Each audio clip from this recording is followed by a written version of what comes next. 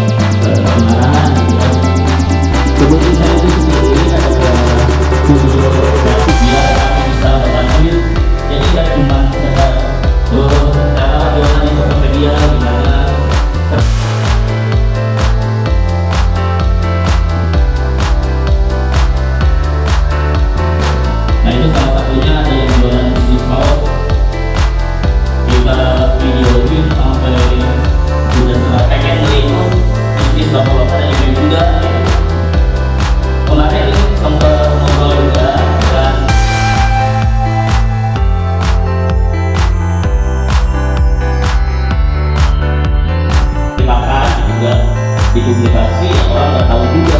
Padahal kalau dilihat dia nah ini ada contohnya. Itu salah satu produk apa namanya olahan ya apa? Hurufnya huruf kecil juga karena pasti kayak gitu. Untuk menarik konsumen ya segala mungkin ya